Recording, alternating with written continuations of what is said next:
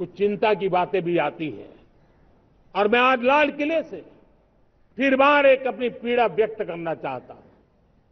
एक समाज के नाते हमें गंभीरता से सोचना होगा कि हमारी माताओं बहनों बेटियों के प्रति जो, जो अत्याचार हो रहे हैं उसके प्रति देश का आक्रोश है जन सामान्य का आक्रोश है। इस आक्रोश को मैं महसूस कर रहा हूँ। इसको देश को, समाज को, हमारी राज्य सरकारों को गंभीरता से लेना होगा। महिलाओं के विरुद्ध, अपराधों की जल्द से जल्द जाँच हो, राक्षसी कृत्य करने वालों को जल्द से जल्द कड़ी सजा हो, वो समाज में विश्वास पैदा करने के लिए ज़रूरी है।